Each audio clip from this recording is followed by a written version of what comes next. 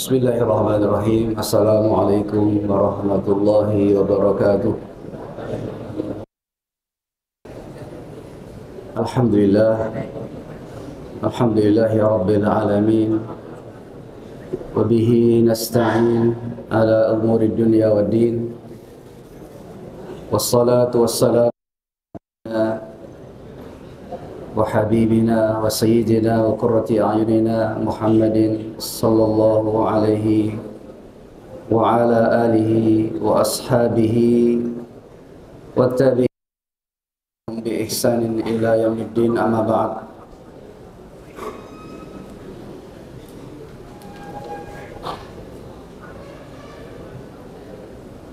Jamaah sekalian,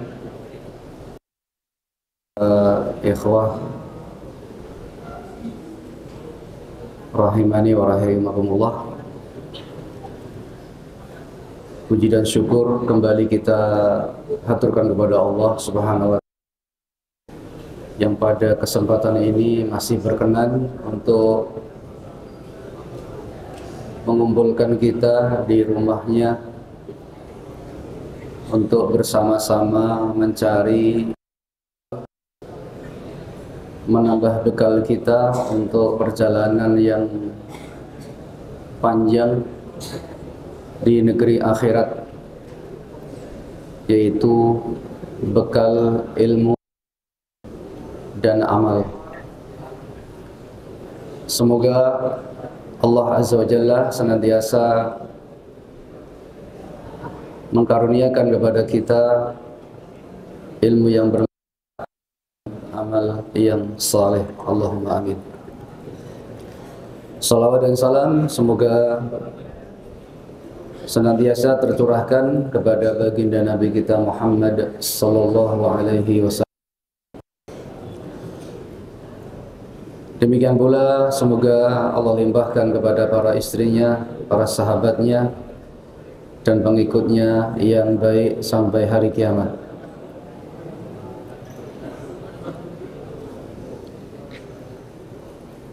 Jamaah yang dicintai oleh Allah Subhanahu wa taala, perkenankan saya di sini membadali Ustadz yang berhalangan pada hari ini Ustadz taala.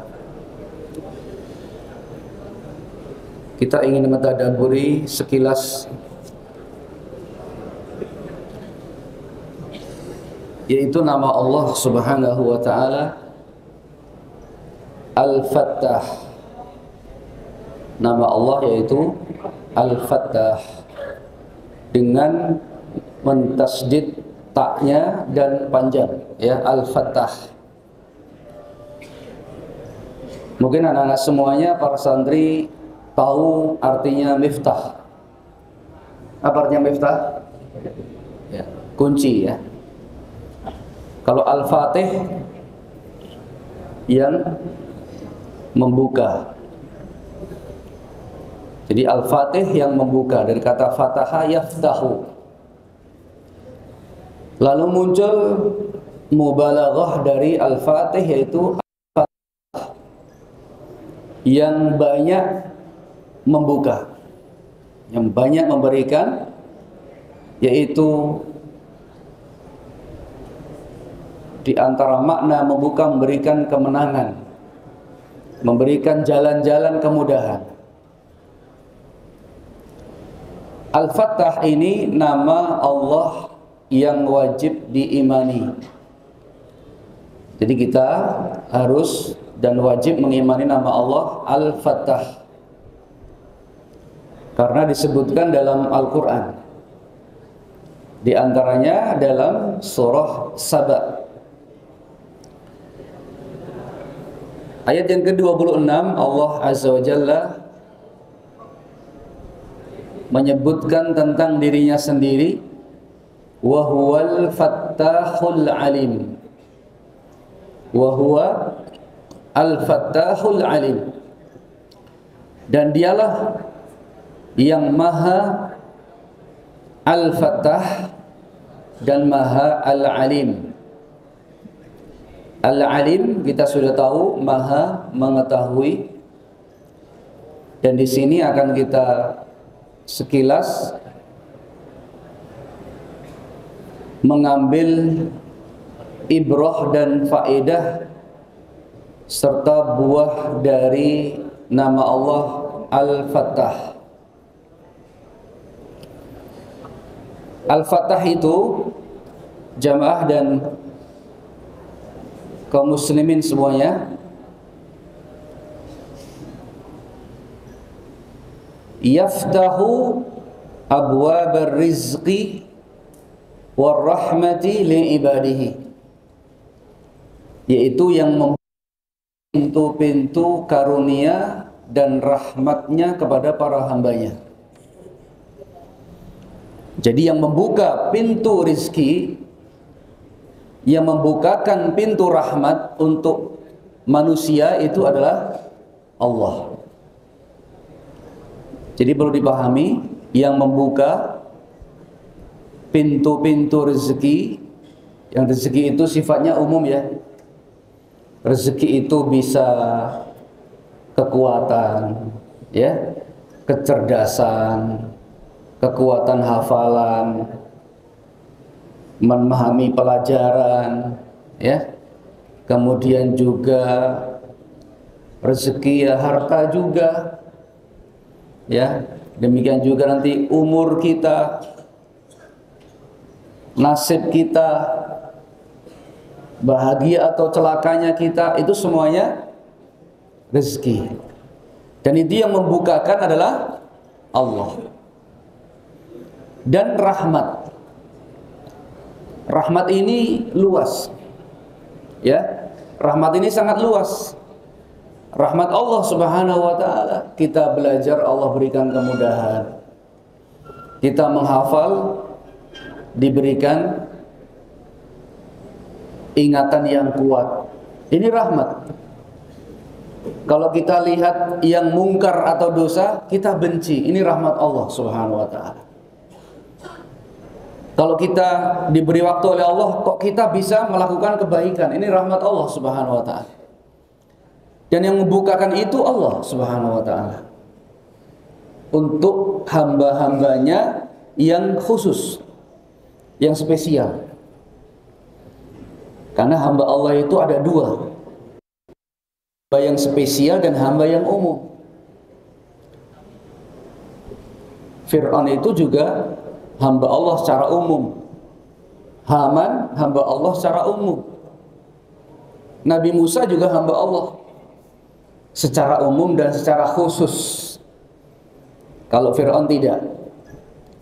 Dia hambanya sekedar ya dia itu yang menciptakan Allah. Yang berikan rezeki dia Allah.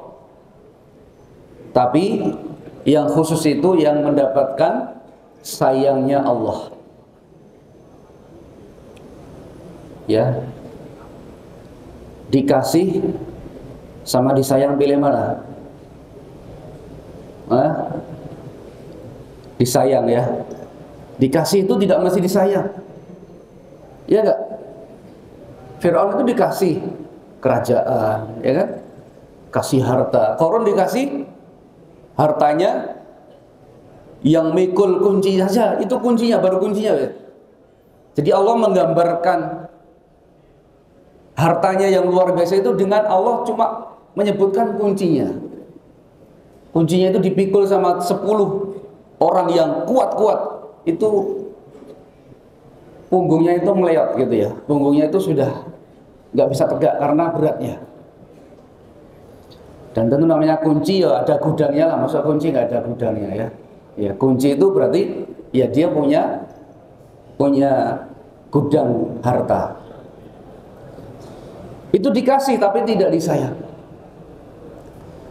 Yang disayang itu khusus yang mendapatkan rahmat dari Allah Subhanahu wa taala.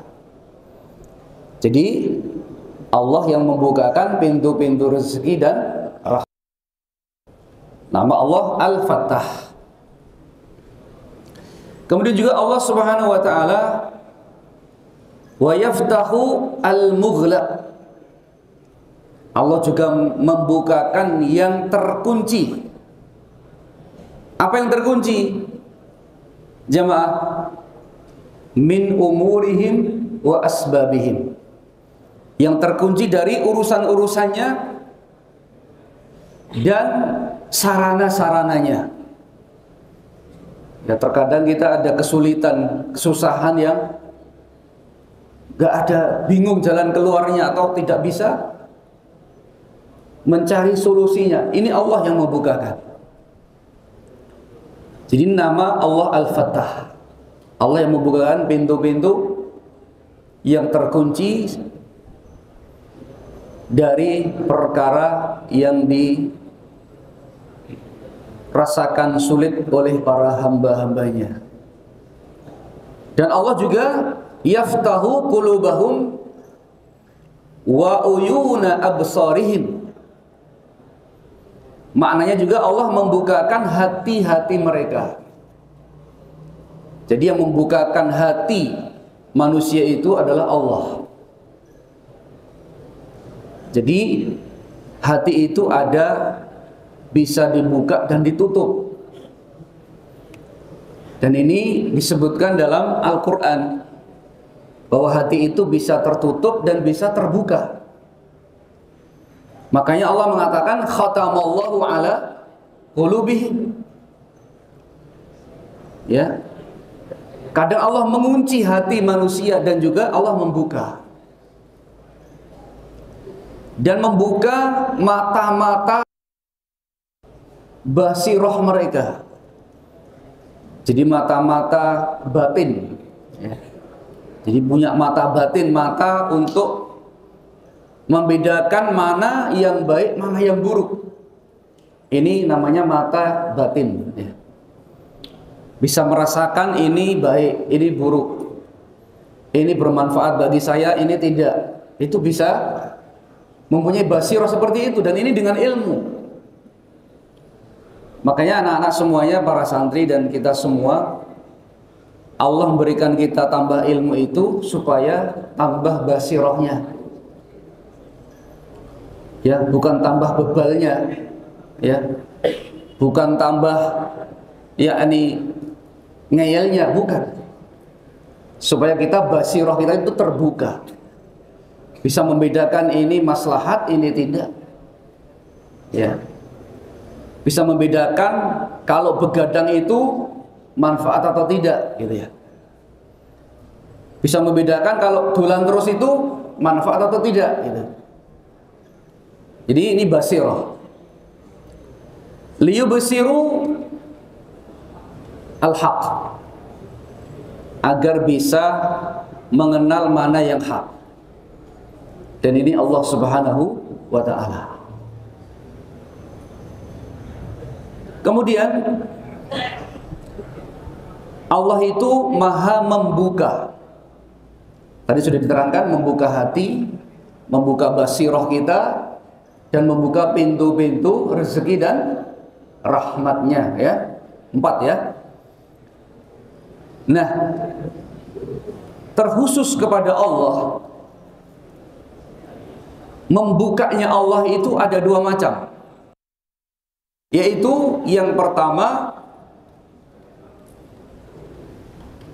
Allah membukakan yang kaitannya dengan hikmah agama. Yang kaitannya dengan ketentuan-ketentuan agama. Yakni amal-amal ya yang kaitannya dengan amal-amal membuka. Yang kaitannya dengan amal-amal dan membuka dalam hal balasan-balasannya. Jadi membuka hamba-hambanya apakah dia dimudahkan untuk beramal yang baik atau beramal yang buruk? Itu sesuai dengan hikmah Allah. Dan kehendak Allah itu mengikuti hikmahnya. Kehendak Allah itu mengikuti hikmahnya.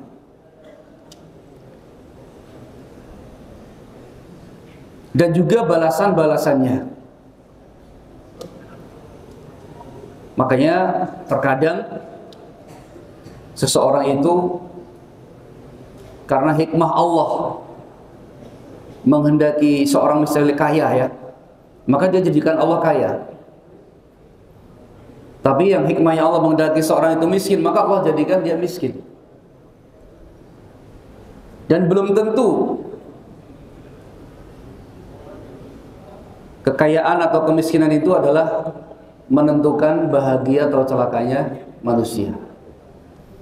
Betapa banyak orang yang kaya tapi durhaka. Bahkan kafir. Betapa banyak orang yang miskin tapi dia bisa beribadah. Mungkin kalau pas dagangannya sepi ya, dia bisa jamaah, bisa ngaji ya. Tapi kalau sudah kaya, nggak mau sholat jamaah, nah, itu namanya kufur ya. Dan itu tidak bukan membahagiakan. Makanya hikmah Allah Subhanahu wa taala yang berupa Allah membukakan pada mereka amal-amal dan balasan-balasannya yang ini semua adalah hak Allah Subhanahu wa taala. Kemudian lebih lanjut Syekh.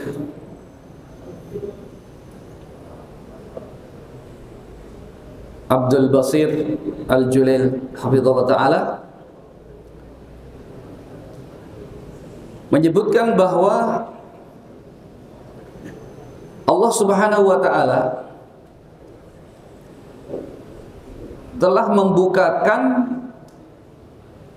pada umat sebelum kita antara para nabi dan rasulnya dengan orang-orang yang menyelisihi mereka. Allah membukakan bagaimana Allah memisahkan dan memuliakan para nabi dan pengikutnya dan menyelamatkan mereka lalu menghukum orang-orang yang menyelisihi mereka. Jadi ini amal-amal orang-orang yang mengikuti para nabi dan yang menyelisihi para nabi. Kemudian balasannya di akhirat pun juga Allah akan bukakan kepada makhluk-makhluk di mahsyarul qiyamah. Yang mana balasannya tentunya akan dinyatakan Allah Subhanahu wa taala dibuka untuk mereka. Ini jamaah dan para ikhwah sekalian makna dari Al-Fattah. Dan yang terakhir apa itu buahnya kita mengimani nama Allah Al-Fattah ini? Ini yang penting karena mengenal nama Allah itu bukan hanya namanya ya kan kita harus tahu apa artinya, apa kandungannya, dan hikmahnya apa.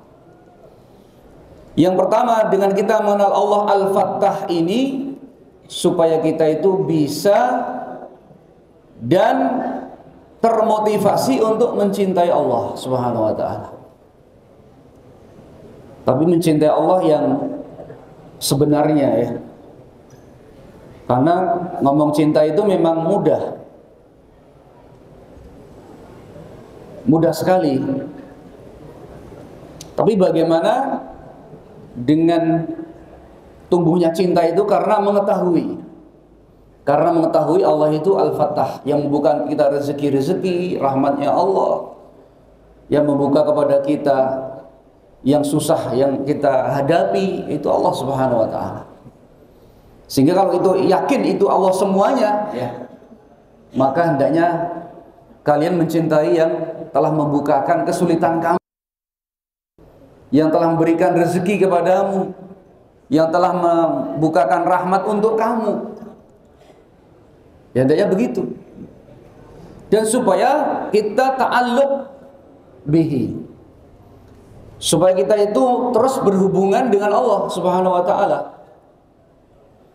Kenapa? Karena Allah itu di tangannya lah semua kunci-kunci kebaikan. Bahkan semua segala sesuatu itu di tangan Allah Subhanahu wa taala. Jadi di tangan Allah mafatihul ilmi. Kunci-kunci ilmu semua ada pada Allah. Kunci-kunci petunjuk semuanya ada pada Allah. Kunci-kunci kebaikan semuanya ada pada Allah. Kunci-kunci rahmat semuanya ada pada Allah. Kunci-kunci rezeki semuanya ada pada Allah Subhanahu wa taala. Kunci-kunci untuk membuka semua kesulitan hidup ada pada Allah Subhanahu wa taala. Makanya kamu kalau bergantungnya bukan kepada Allah, berhubungannya bukan kepada Allah Subhanahu wa taala, bagaimana orang nggak punya kunci mau kasih kamu kunci? Gak bisa. Mereka nggak punya kuncinya. Yang punya hanya Allah. Kalau kita cari kepada selain Allah nggak akan bisa. Mau cari petunjuk, mau cari kebaikan, nggak bisa. Semuanya ada pada Allah Azza wa. Sehingga kita sudah sepatutnya untuk ta'alluq kepada Allah yang memiliki semua kunci tersebut. Yang mana dia itu sangat senang. Allah itu sangat senang apa itu berhubungan kepada Allah. Mengharap kepada Allah minta kepada Allah ya minta dibukakan kepada Allah Subhanahu wa taala ini yang pertama, ya agar kita mencintainya dan ta'alluq berhubung. Yang kedua, supaya kita bisa takut takut kepada Allah Subhanahu wa taala karena Allah akan membuka tirai pada hari kiamat. Akan membuka hati-hati manusia pada hari kiamat. Mungkin sekarang kita bisa delik sembunyi ya. Ditanya ustadznya mungkin bisa aja dia gak jujur. Atau dia berkata mungkin dia bisa bohong, tapi pada hari kiamat akan dibuka pintu-pintu dibuka hati-hati manusia ditampakkan dibuka itu ditampakkan apa yang ada pada hati-hati mereka. Sehingga ini membuahkan rasa takut.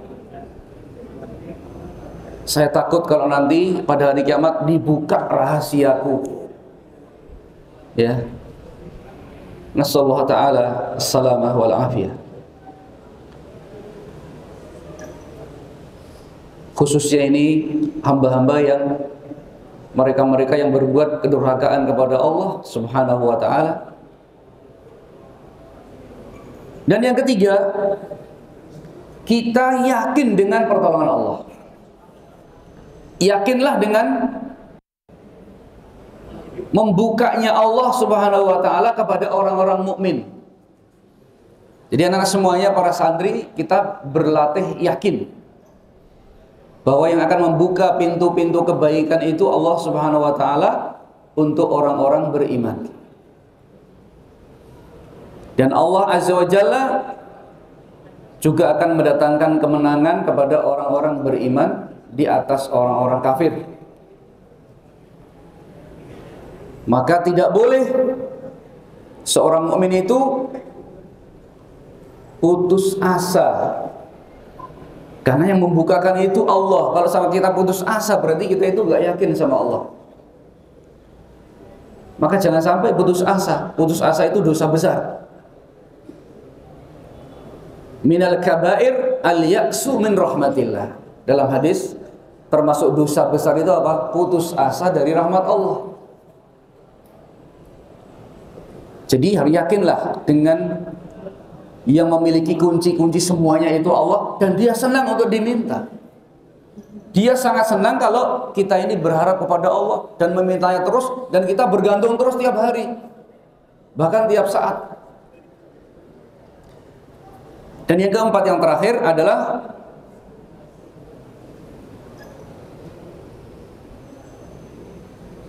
di antara hikmahnya